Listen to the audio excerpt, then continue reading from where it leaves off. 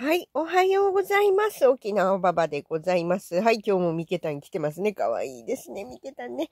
ミケタンの大あくびでございます。ねえ、ミケタンいい子なんですよ。本当にね、この子はね。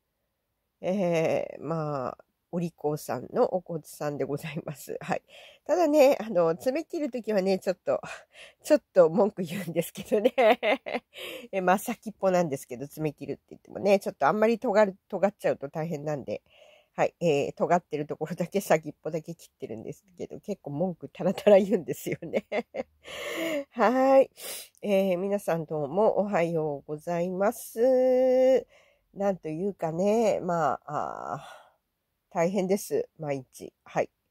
えー、まあ、昨日ね、昨日の話なんですけど、えー、ピコちゃんのピコ次郎さんのね、はい、えー、ライブ見てました。はい。えー、停電ライブでございます。昨日大変だったみたいですね、関東。本当に停電で。えー、もう、私が言ってる意味わかるでしょ？はい。私がね、ずっと、おまあ、ポーター電ですね。ポータブル電源必要ですよって言ってる意味お分かりになりますよね。一応停電になっても、ポータブル電源200ワットでね、一番ちっちゃいのでもね、え扇風機ぐらいは動かせるんですよ。はい、扇風機ぐらいはね。あるのとないのと大違いですから。はい。あるのとないのとでは大違いなんですよ。この扇風機もね。えー、停電の時に扇風機があるのと、で、扇風機がないのと、はい。で、えー、ポタ電があればね、扇風機は動かせますから、はい。えー、ポタ電があればね、ごめんなさいね。え扇風機動かせちゃうんですよ。はい。まあ、あんまりね、ひどい、まあ、熱中症とかになったりとか、まあ、暑くてね、蒸し暑くてどうしようもないって困るっていうことにはならないんですね。このポータブル電源なんですけど、本当に200ワットだったら2万弱で買えます。はい。しかもね、あの、100ワットぐらいの、えー、あれがついてきてますね。あのなんていうのかな。あソーラー、あなソーラー電源というか、ソーラー電池ですね。ソーラーパネルついてます。で、2万弱で買えます。はい。えー、なんでね、検索してみてください。本当にこういう時にね、ちょっとでもいいんで、ポータブル電源があったら、全く違うんですよ。状況が。お分かりになりますよね。えー、すごいですからね。なんか雷はね、どかどか昨日ね、落ちてたみたいで。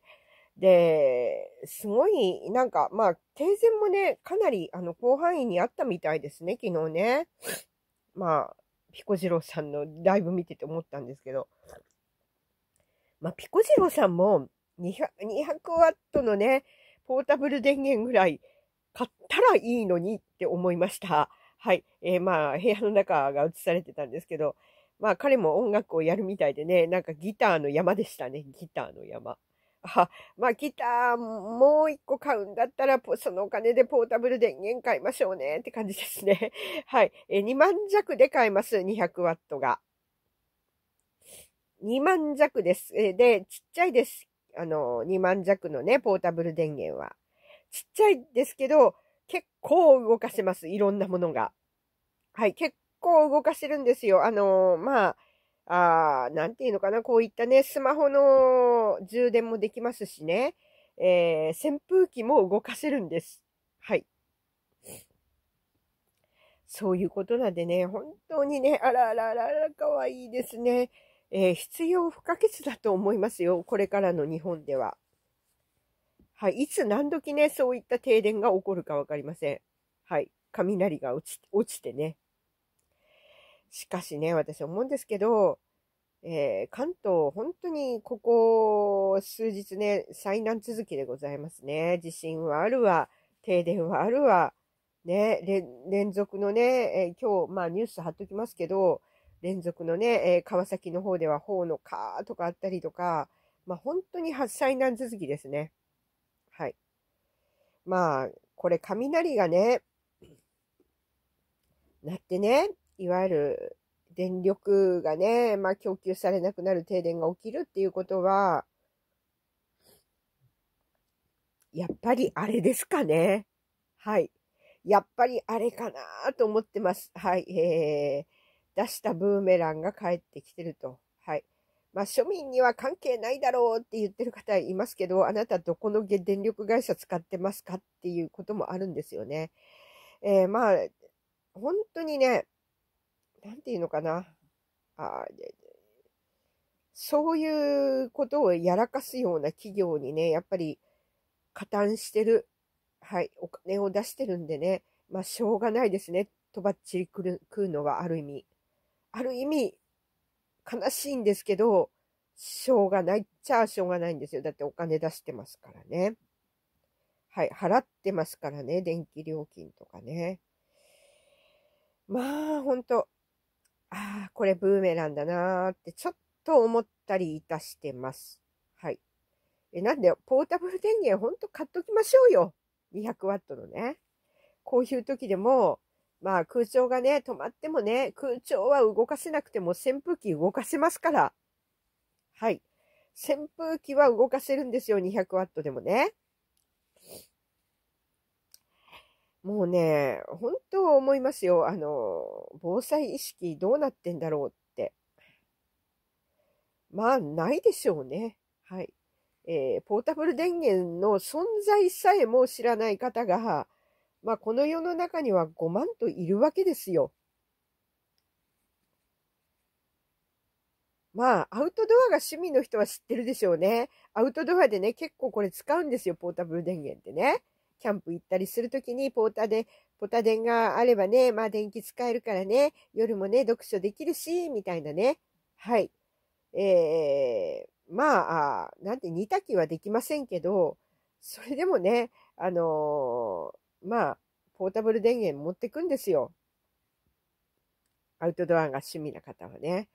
なんでね、これからね、割とサバイバルな時代なんですけど、アウトドアが趣味な方は、結構楽にね、楽に超えられるかもしれませんね。はい。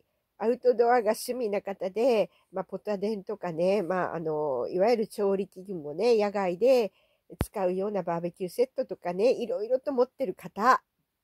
はい。これからはね、多分すっごい役立つと思いますよ、これが。まあ、ポータブル電源もね、あらかじめ充電しておかないとダメなんですけど、はい。ソーラーパネルでもね、何でもね、まあ充電できるんで、充電しておかないといけないんですけど、これからの時代はアウトドアが趣味の方は、まあ強いですね。はい。まあアウトドア趣味じゃなくてもね、えー、まあそういった生活を想定して、えー、いわゆる備えてらっしゃる方は強いです。はい。えー、まあね、本当にいつになるかわかんないんですけど、いわゆるね、中の東さんですね。中の東さんの定の線でございます。えー、こちらね、まあ、あ今日なんかあのニュースでも、これね、一応ニュース配信でやってたんで貼っておきます。ニュースはね、大丈夫なんで。えー、一応言ってたんですけど、なんか定の線の競技をまたするみたいですね。はい。えー、もう何回やってるのって感じなんですけど、定の線に至ったことはないんですけど、まあ、定の線されなければ、エネルギーがね、えー、まあ、滞りがちになるんで、はい、えー、スムーズには入ってこないんで、まあ、何かにかこつけてね、停電は起きるんじゃないかなと思ってます。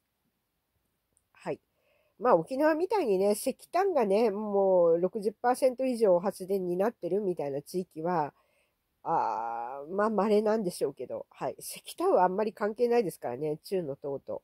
はい。中の東さんとあんまり関係ないですからね、石炭は。まあそういうことでございます。えー、天然ガスとかね、石油とかそういうものに頼って発電してらっしゃるところは、もう本当これからポータブル電源200ワットでもいいんで備えてください。最低1個。できたら2個。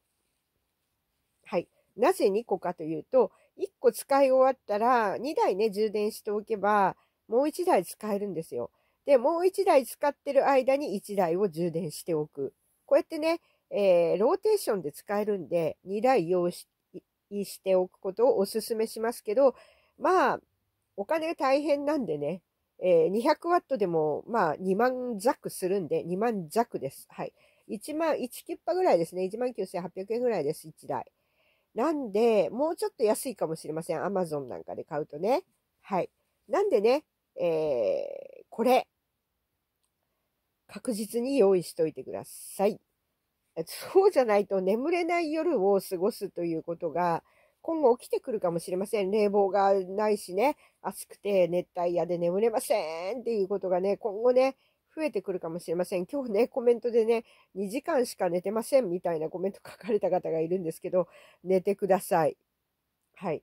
えー、もしかしたらね、停電で、えー、空調がなかったのかもしれませんけど、えー、人間最低5時間は寝ないと、えまあ、最低5、6時間ですね。6時間は最低寝てください。はい。最低6時間寝ないと体壊します。はい。最低6時間は寝てください。はい。あまあね、えー、本当に、あのー、怖いですからね、この低の電ですね、停電さん。意外なところで意外な影響を及ぼしますからね。はい、熱中症にもなりますしね。はい。なんで、何度も言うようにポタデンです。ポタデン必須でございます。はい。ポタデン必須です。もうこれ本当、あの、自分のね、健康を守るためにも、ポタデンは用意しておいてください。本当、あと扇風機もね、えー、ワット数が少ないものを、はい。えー、うちにも一応1台あります。あと、ワット数が少ない冷風機とかいうのも一応用意してございます。冷風機もね、まあ扇風機と同じなんですけどね。はい、ポタ電で回ります。で、一応ね、凍らせておいた、まあ保冷剤みたいなのも入れるんですけど、それ入れるとね、冷たい風が、あまあ、出てきますよっていうようなやつなんですけどね。やっぱりね、こういうもの必要ですよ。はい、必要だと思ってます。なんで、えー、皆さんね、ぜひここら辺、はい、ポタデンまだ準備なさってない方は、200でいいんで、はい、200ワットでいいんで準備してください。はい。これからの時代必須でございます。まあね、えー、そういうことなんですよ。はいえー、しつこくてすいませんね。はい。えー、でもね、本当に思うんですよ。えー、やっぱ買っときゃよかったなーって思う時が来るんですよ。はい。わかりますよね。えー、こういう時に本当あったらね、えー、快適に過ごせます。で、えー、まあ、字のみんみんさんのね、え総裁選のことが今日も出てましたけど、まあ、かなり立候補するみたいですね。いろんな方がね。はい。いろんな方が、まあ、立候補するということで。まあ、どうなることかということです。まあ、字のみんみんさんだったら誰がね、なってもあんまり大したことないかなと思います。なんか今ね、騒がれている小林さんっていう方もね、サラリーマン出身でね、えー、まあ、あなんていうのかな、世襲議員ではないんですけど、俗に言うね。でも東大出身ですからね。東大と、まあ、経営の王の大学ですね。はい。えー、そこはね、例の、あのワールドのね、はい、世界のね、エコノミックフォーラムの、まあ、ね、わかりますよね。本拠地ですからね。はい。え学生のうちから、まあ、いろいろとね、えー、こう、世界のね、経済のフォーラムのね、えー、ためにということで、いろいろと、あの、まあ、そういったサークルがあるんで、はい。まあね、で、しかもね、しかも財務省かなんかの出身なんですよね、この人ね。うわ、来たなって思いました。はい。まあ、そういうところの出所だということですよね。まあ、あね、農水省とかのね、出所だったらまだね、うん、ちょっとはね、え日本のためにやってくれるかなっていう感じなんですけどね。そうじゃないですからね。しかも、東大出身、うーんって感じですね。ここら辺もね。はい。え出身大でね、え差別してはいけないのかもしれませんけど、なんかもうほんと考えさせられるなと思ってます。はい。えー、ねもう、なんていうのかな。日本農業大学出身で、農学部出身の大臣とかね、大臣っていうか総理大臣とかね、出てこないもんなんでしょうかね。もうほんとね、あのー、いろいろ大変なこと起きてますよ。農業界でね。はい。